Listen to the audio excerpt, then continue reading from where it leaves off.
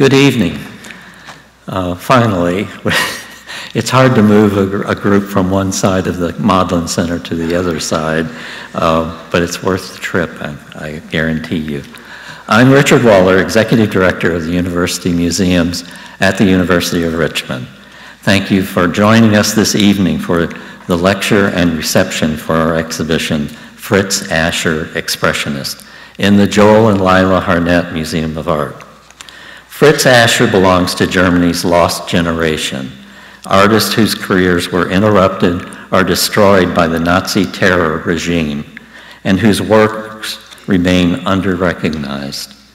The exhibition is the first American retrospective of Ascher's bold and colorful works, and features early academic studies and figural compositions, as well as his late mystical landscapes devoid of human presence. We are delighted to be bringing this incredible exhibition to Richmond.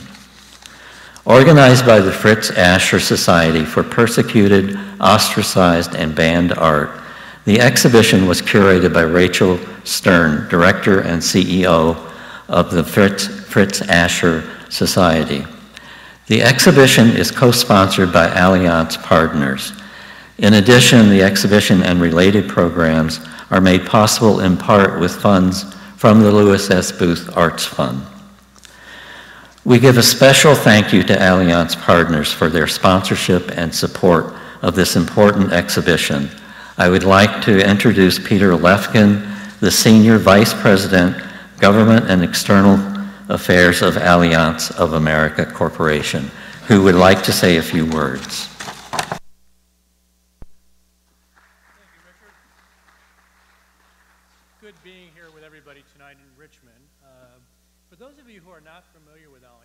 Uh, we are the world's large, the second largest insurance company. We're the fifth largest asset manager. We're the largest financial services company in Germany. But we also have a significant footprint in the United States. We have about 8,000 employees and about five or six companies. Um, and here in Richmond, we have Allianz Worldwide Partners, which is about 1,000 employees, taking over one of the old Circuit City buildings, and many of you are familiar with it, and hopefully many of you are buying our products as well. Uh, its management team and its CEO, Mike Nelson, are here with us tonight, and I thank them for their support uh, for this exhibit. Allianz is very proud to be a sponsor of the Fritz Ascher exhibit at the Harnett Museum. Um, and on this most really beautiful campus, I've never been here before, but it really exceeded expectations. You're going to hear much about Fritz Ascher, his work, the inspiration people draw from him, inspiration, how the Third Reich and his, uh, the terrible legacy of living as a Jewish person in, in, Munich sort of helped define or at least altered his art after World War II. You're going to hear that from Rachel Stern, who is the executive director of the Fritz Ascher Society and is also um, the curator of this event. Why is Allianz involved? I'll tell you, this is a, it's an interesting story, and companies have to sort of acknowledge all their greatness and some of the blemishes on their records. We're a 125 year old company. And like every other company in Germany during that period of existence, we were impacted by the Third Reich. We lived through it. And we saw the firsthand the destruction that it created and the terror that it inflicted on its Jewish population. Reich decrees started almost from the beginning. They were sort of incremental. It was sort of the, the frog in the pot type of scenario. You, you know, people will lose their jobs, lose their professional qualifications, lose their businesses, lose their trades, strip away their rights just one by one by one, and ultimately leading, of course, to the most awful things expulsion and extermination. In 1990, Allianz had done its own history, celebrating its 100th anniversary of the company. And like many corporate histories, you know, you, you sort of gloss over certain things, and we glossed over the Third Reich. And for many of us and many of its employees, and frankly, even our senior executives, we realized we needed to have that redressed immediately. Uh, we have to sort of acknowledge what was going on during that period of time and not gloss it over. And we instituted and commissioned a study by Professor Gerald Feldman, University of California, Berkeley, who did a did a history of Allianz, the insurance industry, and Third Reich, and it's a remarkably readable document. It doesn't go into all the actuarial tables, of course, but it does tell pretty much the history of Allianz and also of the insurance industry and business in general in the Third Reich. How you got caught into this web of dealing with the devil. Uh, in Allianz, we saw, you know, how do we, sometimes we resist it, more often not, we just acquiesce. Right decrees demanding that we fire employees, the firing or terminating our distribution partners, or seizing policy, or have, uh, cooperating because, you know, perhaps it was a gun to their head, but nonetheless, basically seizing accounts of Jewish policyholders uh, to give to the Reich. All those were part of the history. It's a terrible legacy. And we thought, frankly, from a company like ours, we need to learn from this. We also have responsibility to redress the past and to ensure that it never happens again in the future. Through her own work and dedication, Rachel Stern has brought Fritz Ascher back to life. And she's doing that particularly right now in the United States. She's gaining a certain amount of noteworthiness in Germany, but in the United States, uh, Rachel's work is remarkable, and she's not only bringing remarkable art, but she's also bringing a remarkable life story that bears iteration. We at Allianz are, are honored to have all of you here with us tonight, uh, and I also want to acknowledge the work and the support from my very close friend, the head of the Allianz Foundation, Reverend Christopher Worthley, uh, for, for his efforts. Without Christopher's efforts and without him sort of pay, paying personal attention and making this a personal matter of personal conviction, we probably would not be here tonight. We've had many distinguished guests in here, and I don't know, I saw, uh, I'd like to, Karen Haas, who is the district director for Congresswoman Spanberger, who was here earlier, so I'm not sure if she's here tonight. There she is. Karen, you're sticking around for the lecture. That's great. And I thank Karen and we thank Congressman Spanberger, who has done just a remarkable job and has visited our company. And we commend everything that they're doing to try to make America a better place. And we also uh, are, are, honored by having the cultural minister from Germany, uh, Ms. Vera Butten, uh, who's going to start talk from the German embassy's perspective and talk to you about Fritz Ascher, what it means to the German embassy, what the cultural experience can be, and she's going to give a very brief talk. And following that, I'm going to introduce to you our most honored guest, who is the Lieutenant Governor of the state of Virginia, or the Commonwealth of Virginia, I'm sorry. I've come from Washington, D.C., Justin Fairfax.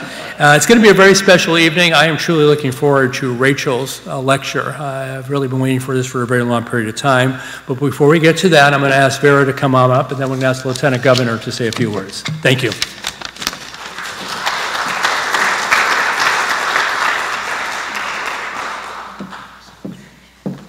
Thank you, Peter, for this kind of introduction. Um, dear Lieutenant Governor, dear Rachel Stern, honored guests and supporters of the Fritz Ascher Society for Persecuted, Ostracized, and Banned Art, ladies and gentlemen. Thank you for the invitation to join in this special opening of a very important exhibition. It's wonderful to be out here, out of Washington, to be here in this wonderful state capital of Richmond. It was my first time. I was really happy to, to have this opportunity to come here today. On behalf of Ambassador Emily Haber and all my colleagues at the German Embassy, Embassy, in Washington, congratulations to all of those involved in bringing this exhibition to Richmond. In fact, tonight's opening represents the continuation of our engagement with the Fritz Ascher, Ascher Society and this exhibition in particular. Because one year ago, it was shown in New York as a part of the Year of German American Friendship 2018 2019. Maybe you're not familiar with it, but it was maybe more known under, by the slogan Wunderbar Together. Um, in this year of German American friendship, we had over 2,000 events in all 50 states, and we partnered with more than 400 partners all over the US. We were really happy and we were really proud of that.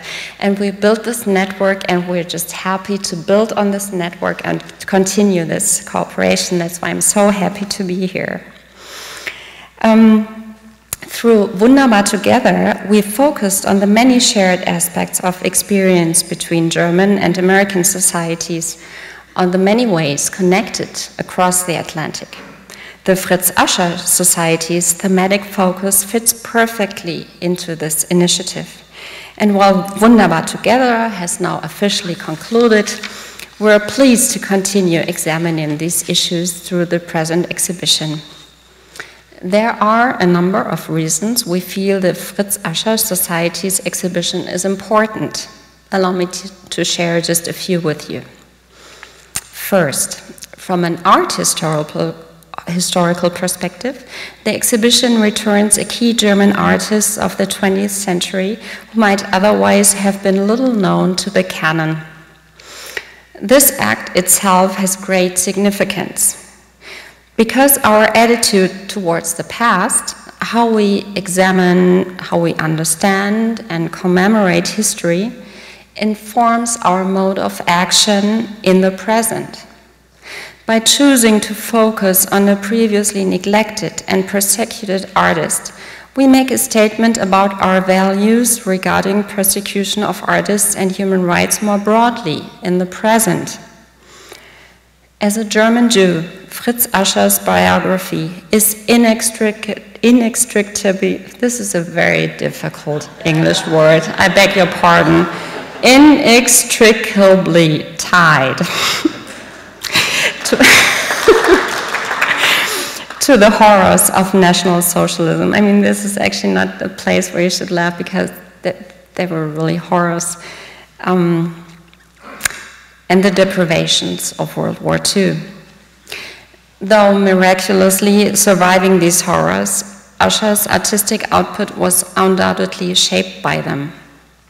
This is the second reason why I feel this exhibition devoted to Fritz Ascher matters, especially now.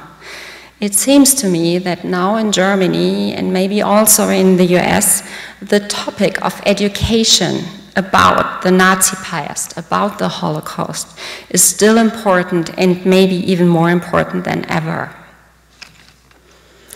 By examining the artworks in the exhibition and thinking about them in the context of the biography of Fritz Ascher, visitors, young and not so young, questions surrounding, confront questions surrounding the persecution of artists. First, in the context of the Third Reich, but also through history to the present day.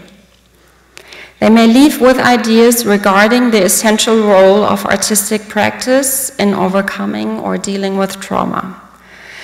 Though Fritz Ascher faced unimaginable hardships, his creative drive helped him to sustain through life.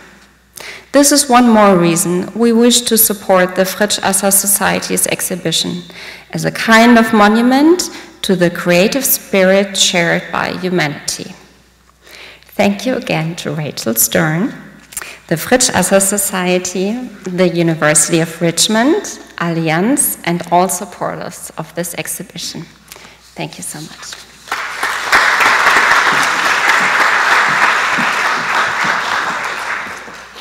Thank you, Vera, for a very inspiring talk. I now have the great honor to introduce to you today the Lieutenant Governor for the Commonwealth of Virginia, Justin Fairfax. Actually, when I looked at his biography, the only one thing that bothered me, that he was born while I was in my second year in law school. That really sort of hurts. that's, a, that's, another matter. But anyways, he's had a very distinguished career uh, uh, where he has he had, uh, attended um, Duke, Duke, uh, Duke, University and received his legal degree uh, from Columbia. Uh, he has worked for Senator Warner. He has worked for Senator Kaine, I believe, and he's worked for the Senate, Senate Judiciary Committee. He's really dedicated himself to the public service, and I really commend him for sort of doing so because sometimes it's hard. It takes some sacrifice, particularly for a guy there who has two young kids. And I'm sure sometimes you're here tonight. I mean, you should, should be home pretty soon. I hope you told your wife to be home by now. I know how that, that, that can be for, for any, anybody, particularly for somebody who's is running in public office, which is a very, very difficult job. And he also worked for two years as a federal prosecutor in Alexandria, Virginia. So he sort of knows all sides of the legal equation. I, I commend uh, Lieutenant Governor Fairfax for many things, but one of which is his interest in jobs and apprentice programs. And I, this is probably putting my German uh, company hat on. This is a, something that Germany truly has excelled in. A lot of German companies have been coming to the United States sort of helping the U.S. government and state governments sort of involving themselves. What do we do? What do they do right in Germany? What can be transported here? Not everybody is meant for university education or going to take advantage of it. And how can we bring forth, you know, good, hardworking, middle-class citizens into the workforce who might otherwise be left behind? And I commend the Lieutenant Governor particularly for his efforts in that direction. With that, I'm going to ask the Lieutenant Governor to come up and say a few words, and um, after that, of course, we'll be followed by Rachel, Rachel Stern. Thank you so much.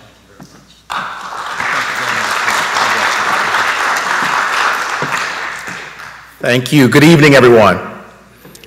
Uh, it is wonderful to be here with you tonight. Uh, Peter, Richard, Vera, Rachel, thank you all so much for your leadership.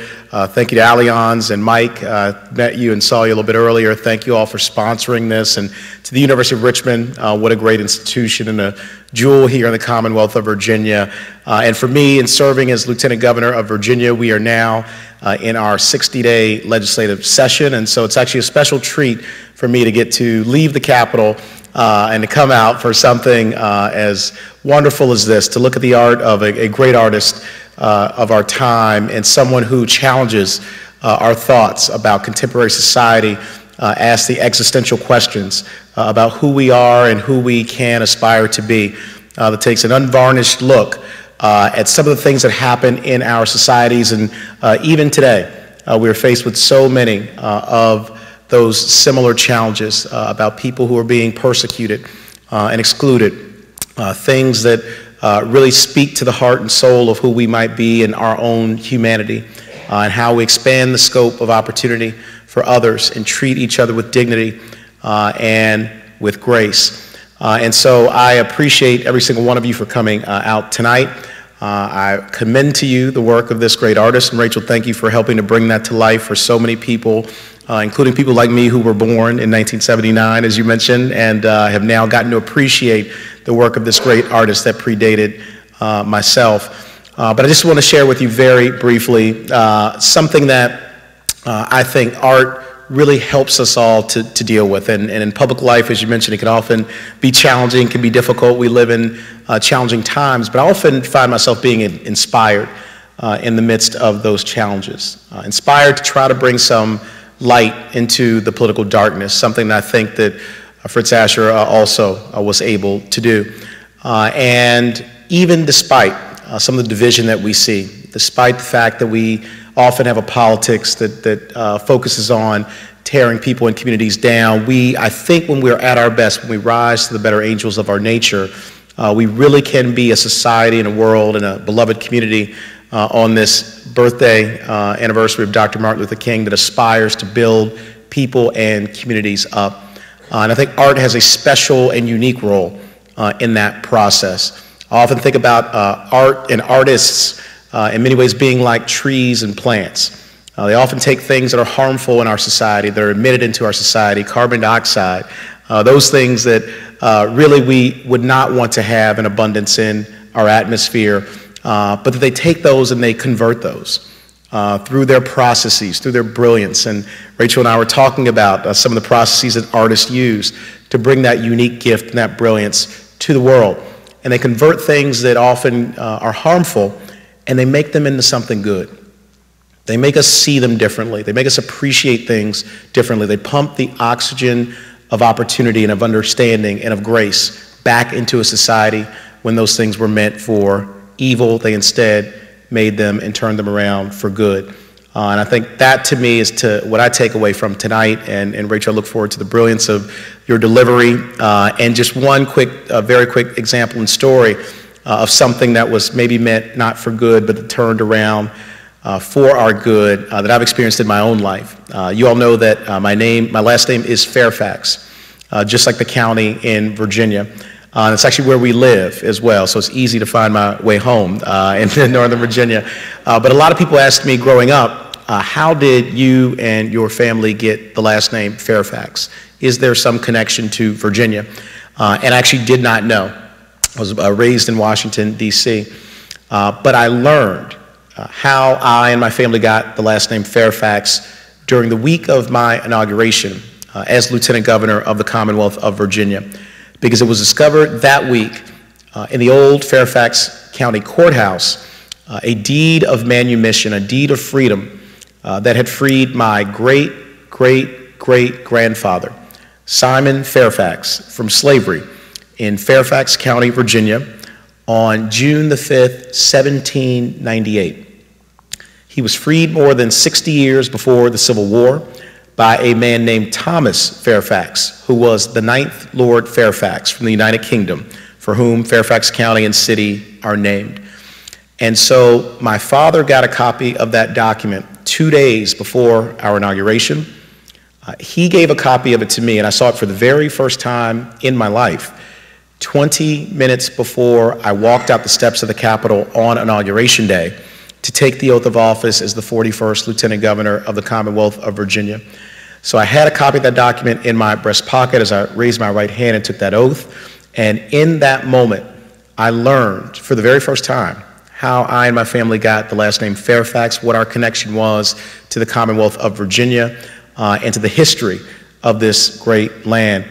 And so 220 years later, Simon Fairfax's great great great grandson was being sworn in as the number two in command of the very same state where he had been enslaved. And what I like to say, and particularly on this day, Dr. Martin Luther King's birthday, he would have been 91 today, uh, is that as he has said so famously and so eloquently, the arc of the moral universe is long, but it ultimately bends toward justice. And I think that is something that this extraordinary artist and this extraordinary uh, exhibit uh, is going to allow people to remember and to put into their spirits that while today may be dark, while we may have challenges, while there may be things that prevent us from getting to the truth and light and hope and uplift, uh, it ultimately will turn around if we, in fact, are the ones who help to bend the arc of that moral universe. And so I thank you all for what you're doing to bring light into the darkness, to convert uh, that CO2 into the oxygen of opportunity, understanding, hope, and grace. Uh, and I appreciate every single one of you. I'm honored to represent you as the 41st Lieutenant Governor of Virginia. And I look forward to us all supporting each other and rising together. So God bless you all. Thank you for having me tonight.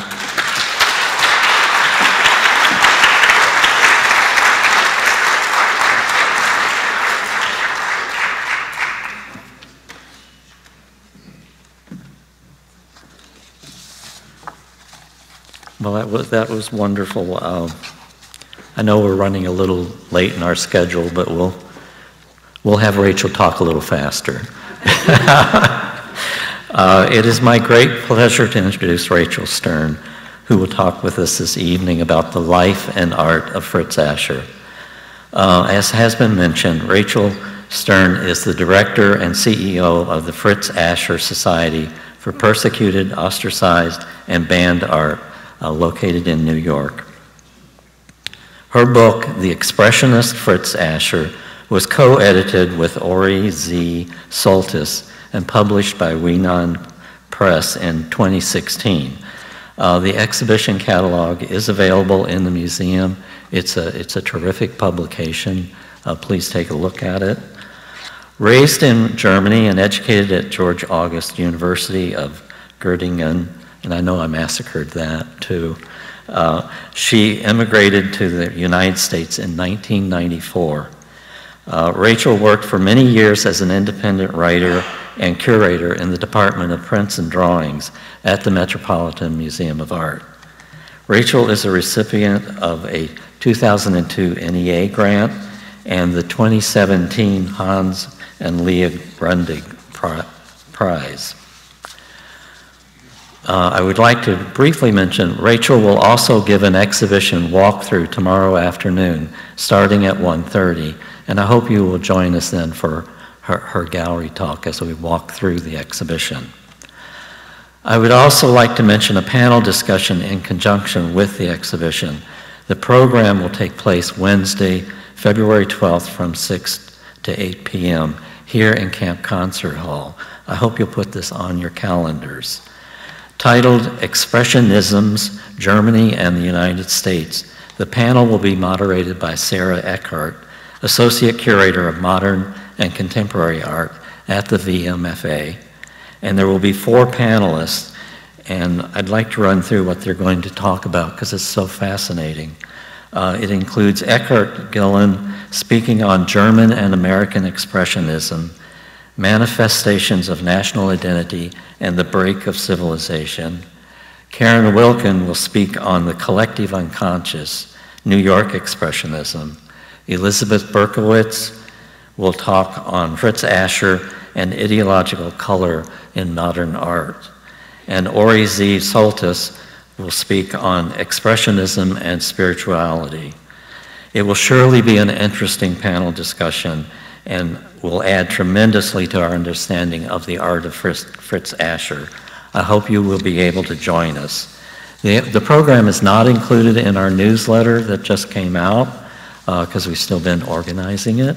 Uh, but we have a flyer at the museum's front desk uh, to remind you, and there will be more information on our website as, as the, the panel is uh, developed. As always, I would like to extend special thanks to the staff of the University of Richmond Museums. They have done a stellar job, including working with faculty and other university staff in bringing this important exhibition and its related programs to our campus community and to the greater Richmond community. Thank you for making this happen so smoothly and beautifully. The title of Rachel's talk this evening is Forgotten but Not Lost, the German expressionist Fritz Ascher, as it says on the, on the wall here. Following her talk, uh, please join us in the Harnett Museum of Art to see the exhibition and to enjoy the reception in the booth lobby. Please join me in welcoming Rachel Stern.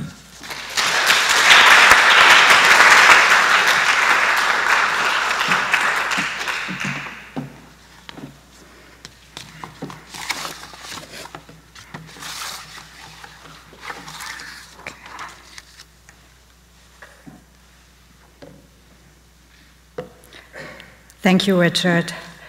I thank the whole team here at the Harnett Museum for their professionalism, creativity, and calm in all aspects of the exhibition preparations. Richard Waller and Elizabeth Schlatter, Matthew Howell, Heather Camper, and Martha Wright, as well as Katrina Clark, Stephen Duggins, Henley Guild, and David Hershey. I thank Allianz Partners for co-sponsoring the exhibition and I thank Peter Lefkin and Christopher Worthley, Carol Gentry, and Jack Zamp for their support. Good evening. You are all a lost generation, Gertrude Stein said to Ernest Hemingway, who used the term in the epigraph of his 1926 novel, The Sun Also Rises. It became internationally known to include those born between 1883 and 1900 who came of age during World War I, fearing violent death, and followed by great confusion and aimlessness among the war's survivors. Hemingway later wrote to his editor, Max Perkins, that the point of the book was not so much about a generation being lost, but his belief that the characters in his novel may have been bettered, but were not lost. The artist Fritz Ascher belonged to that generation. He was born on October 17, 1893 in Berlin to Jewish parents Hugo and Minna Luise Ascher, followed in 1894 and 1897 by his sisters Charlotte and Margarete. In 1899, Hugo Ascher formally left the Jewish faith with his three children who were baptized in 1901.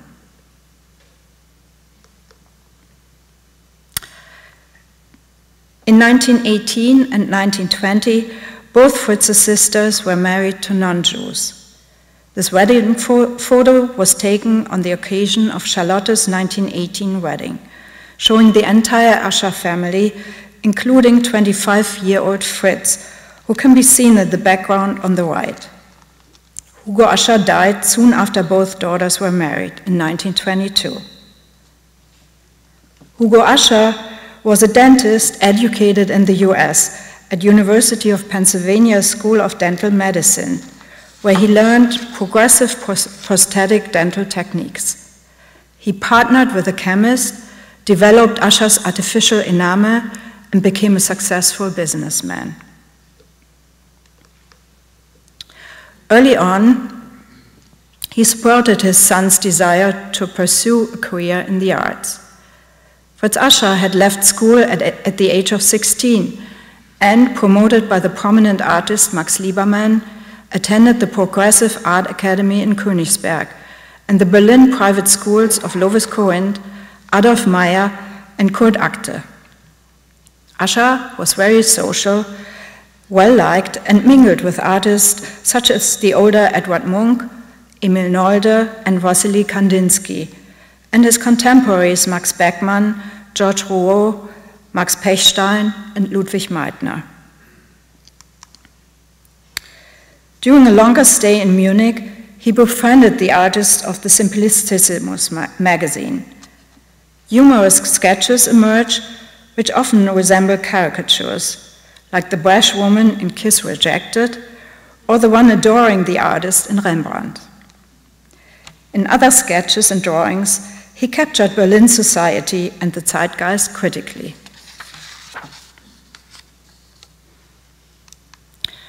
The beginning of World War I in 1914 seems to have focused the 21 year old on himself. While many of his contemporaries went to battle with near religious feelings for the fatherland, Ascher's artworks reveal battle with his uh, religious identity and suggest his inner strife. He now found his very own pictorial language, in which he combined expressive strokes and intense colors with descriptive outlines and a flat application of paint. In his drawings, Ascher continued to observe the Berlin society. Semitic and Aryan prototypes confront each other and reflect on the intensifying political and social polarization in German society. Jews were increasingly seen as the other, as a race different and different and separate from Germans. The male portrait in red from circa 1915 could be the comfortable, mean, self-satisfied, and hypocritical Herr Wendriner, the famous literary creation of German Jewish writer Kurt Tucholsky, who incarnated the obvious dolt of all faiths and races.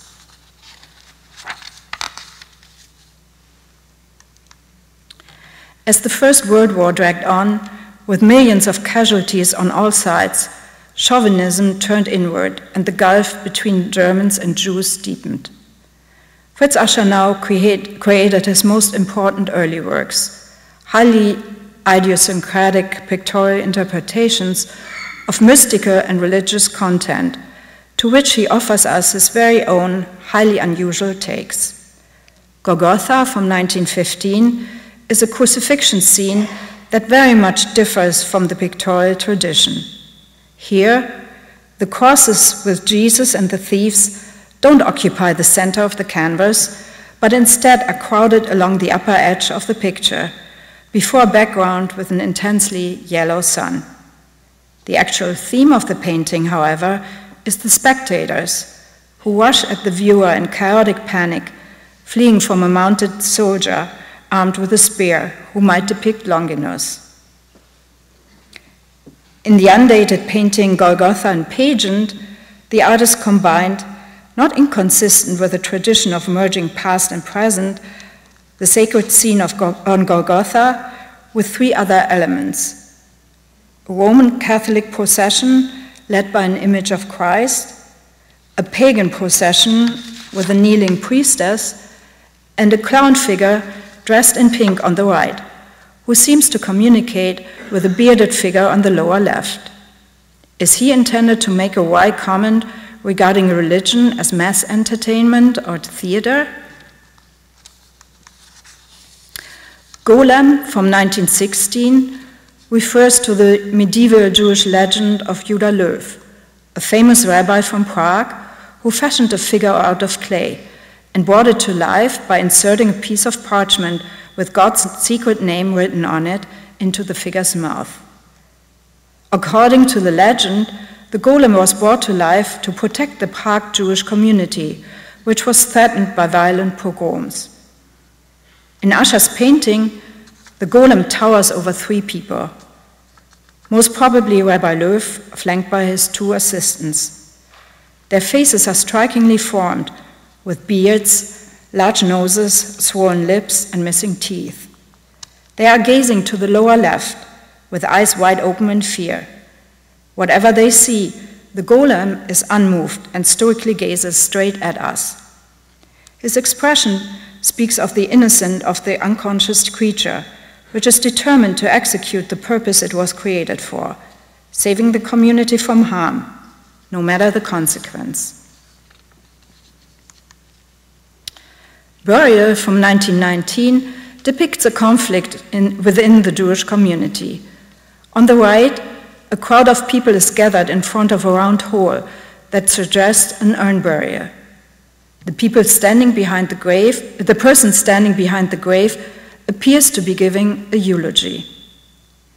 Lightly sketched crosses in the background confirm the location as a Christian cemetery. In the left foreground, man raises his hand to his head in terror or grief, gazing at the crowd. His head, coat, and side locks identify him as a religious Eastern European Jew. We might see him here shocked and pained by the Christian burial of a fellow Jew, possibly a family member. Since the 1880s, Eastern European Jews were coming to Berlin in large numbers, fleeing pogroms and massacres. The assimilated German Jews were embarrassed by the Eastern Jews' poverty and traditional looks, which seemed to confirm prevailing stereotypes. In addition to works based in religion, myth, and allegories, Ascher also chose themes from literature and the world of sport, music, theater, and opera. Throughout his life, he depicted the clown who makes others laugh while crying inwardly. He drew soccer players and boxers, a new sport in Germany which quickly gained popularity in the 1920s. His two men boxing go at each other with muscular bodies and determined expressions. Until today, we can feel the animal brutality and existential drama of their encounter. In 1918, World War I was over, with the utter defeat of Germany. Five million Germans dead, two million orphans, one million invalids, one million widows.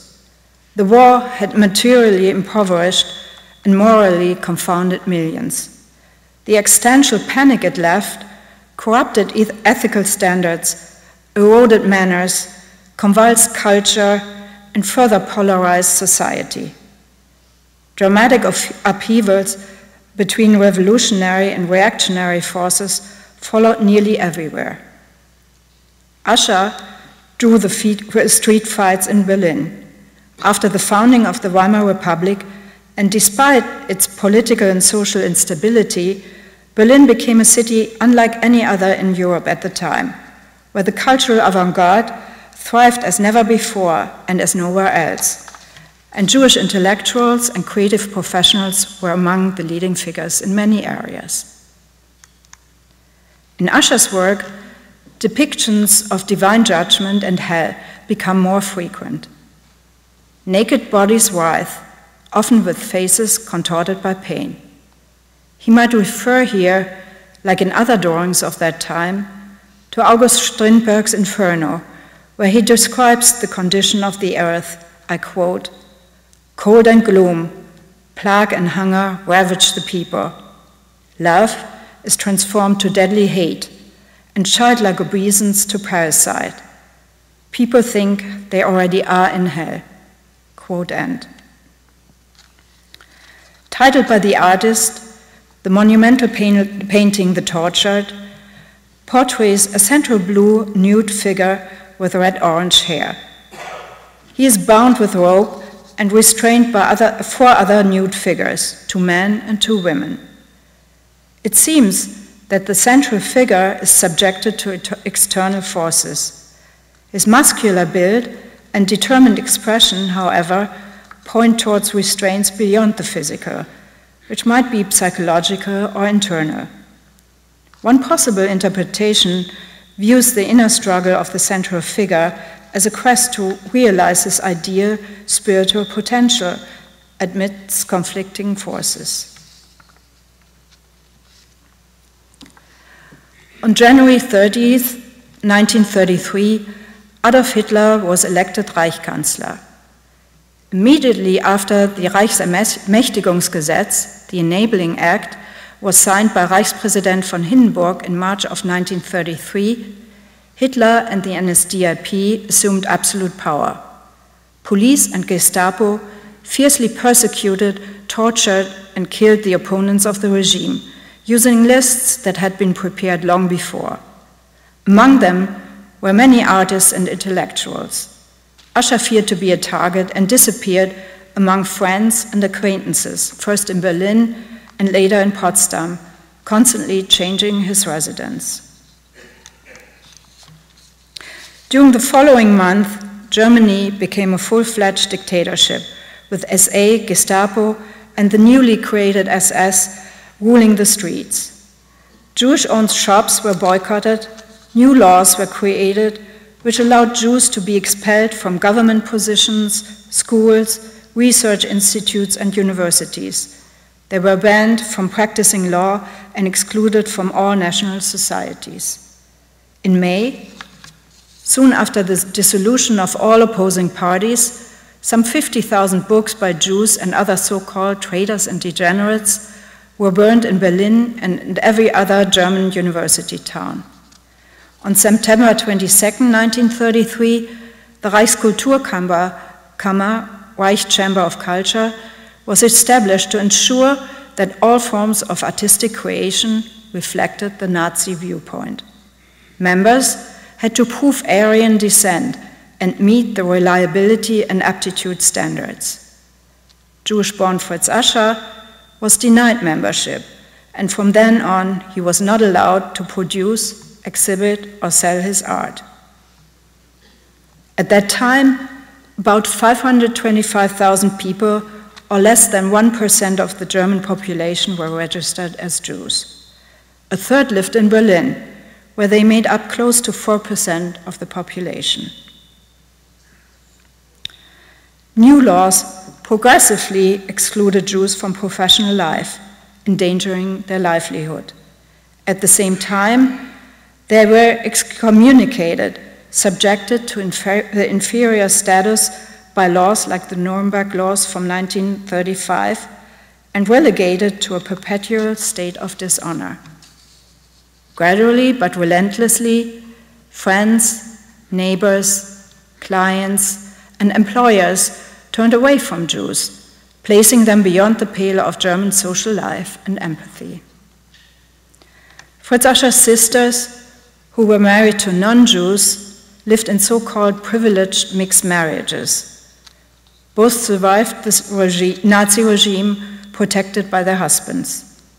Their mother, who had illegally lived with her daughter Grete, died on October 17, 1938 her only son's birthday, and three weeks before the November pogroms. Earlier, she had asked her friend Martha Grassmann to look after her son. The whole Grassmann family got involved in doing so. At work, husband Robert had heard about the planned pogroms and tried to warn Ascher. But it was too late.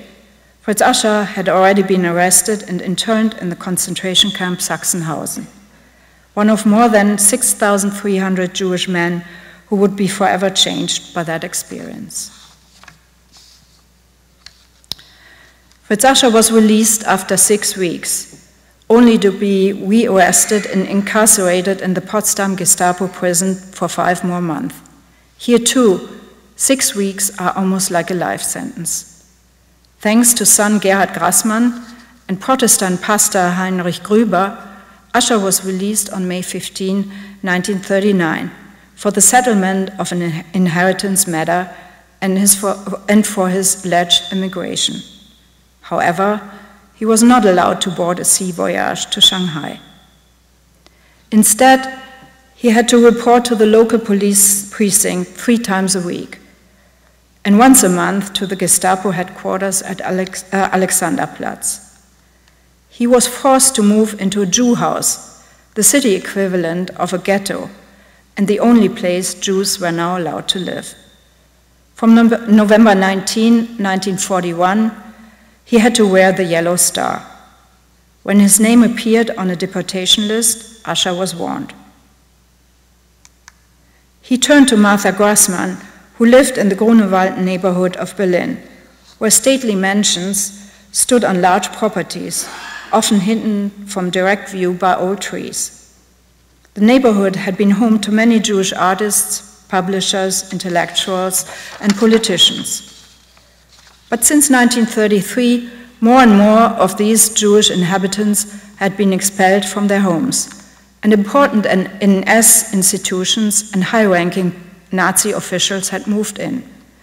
The Grunewald train station was nearby, where the mass deportations of Berlin's Jews had begun on October 18, 1941. Here, Martha Grassmann hid Ascher for three years, first in her apartment and later in the basement of the building Lassenstraße 26, which you can see here, one of the very few Grunewald villas hit by a bomb. She was under permanent surveillance and was subjected to several house searches. She recalled, I quote, he hid in a tiny space in my part of the basement. During air raids, he was locked in the superintendent's cellar. For three years, he lived in the basement among rats and wildcats. Quote end. This tiny basement space was most certainly dingy and damp, without light, a bucket instead of a toilet, and no running water to wash. Friend and collector Karl Elwanger remembered, I quote, Apparently, Mrs. Grassmann hid three men. She said that Ascher always stayed in his hiding place. One day, the other two could no longer bear it, went out, and never returned. Quote end. Especially late in the war, when all able bodied men were drafted into the Volkssturm, it was perilous for men to be seen in the streets. The Nazis had stepped up manhunt in the streets to find Jews, deserters, or forced laborers who had escaped. In his hideout, Ascher hid even more. Fear of betrayal and discovery, torture and death, hunger, immobility, and loneliness never left him. Deprived of books, conversation, or artistic work, he was completely cast back at himself and his educational horizon. He expressed his feelings in poems. Ratte, dunkel bleibt's und schleicht in Huschen. Unrat scheint dem Geist gemein. Tückisch wie die Augen funkeln. Menetekel des Versumpften, des verfemten flüchtig sein. In other poems, he reflected on his unpainted images. He wrote about love and the divine and tributes to his artistic role models. He also turned to a new theme.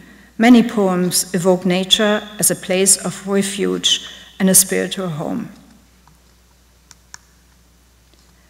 After Germany's defeat in 1945, Fritz Ascher was one of about 5,000 Jews who had survived submerged in Germany. About 1,700 of them survived in Berlin. Twelve years of persecution very much altered his personality his life, as well as his art. The artist moved in with Martha Grassmann at Bismarck 26, just a block from his former hiding place. She took care of him for the rest of his life. Former neighbor Ute Gustavus remembered, I quote, she protected him from the outside world, quote end. And the outside world was not friendly. The American OMGUS surveys that's the Office of Military Government, United States, conducted between 1945 and 1949, found that the German people were even more anti Semitic after 1945 than during the Nazi regime. Even though open anti Semitism was suppressed by the occupying powers, it continued as a generally silent and latent force. Jews who were not able or willing to leave the country retreated into the private sphere, a so called absent presence. Fritz Ascher began painting again. He started by repainting some of his existing works, very often covering them with a pointillism of expressive colorfulness. Ascher's Beethoven is a painted portrait bust of the composer, to which he added multicolored dots and dashes. The vibrancy of color and the quickness of the dash lines could indicate the array of feelings engendered by Beethoven's music or the sound of Beethoven's work.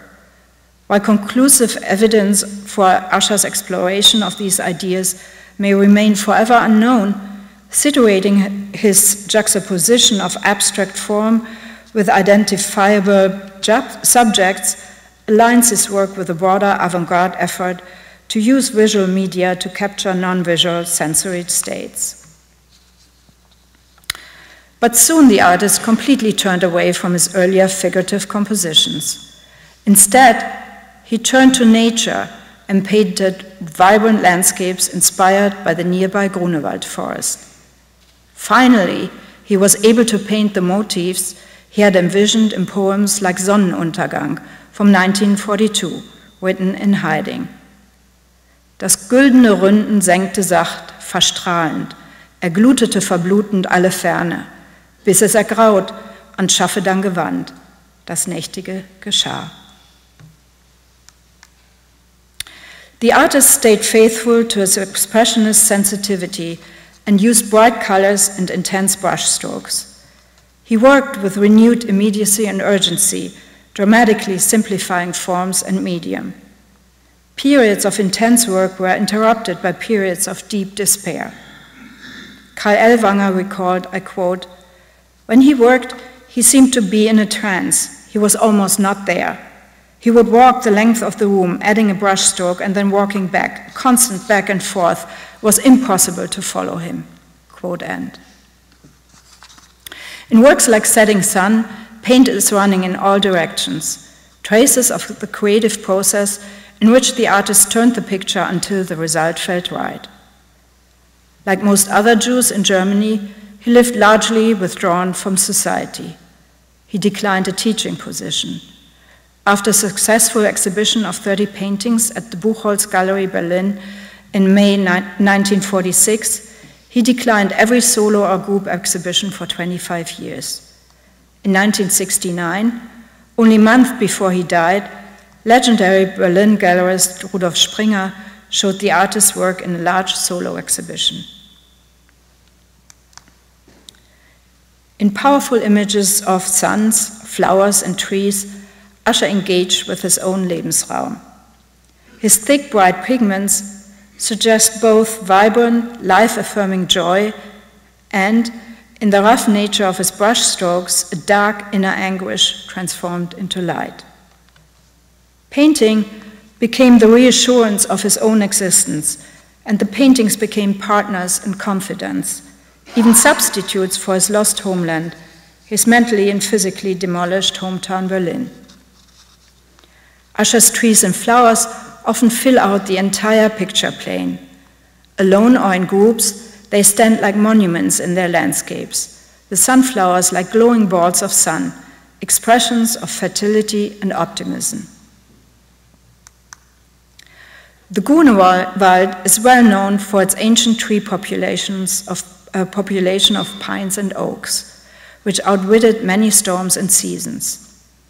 In Ascher's works, these old trees with massive trunks fill out the entire picture plane and often form a wall of resistance, which the viewer is not invited to permeate.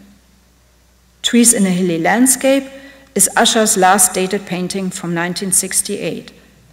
Again, old pines fill out the entire canvas, but between the two massive, close standing trees on the left side and an isolated tree on the right, a white landscape meets a cloudy sky in the horizon. In contrast to these massive old trees, young trees bear, bear, witness to the rapid reforestation of the Grunewald in the late 1940s.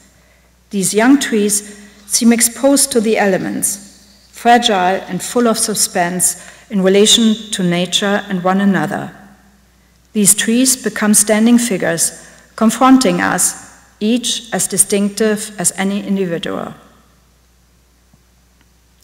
At the end of 1969, the Villa Bismarck Allee 26 was sold for demolition, and Fritz Ascher was forced to move. He died just three months later on March 26, 1970. The Weimar Republic inspired a creative outpour especially in its capital, Berlin. Many of these artistic voices were often forever silenced by the Nazi regime. I invite you now to discover one of these voices, never lost and not forgotten anymore, in the exhibition Fritz Ascher Expressionist. Thank you.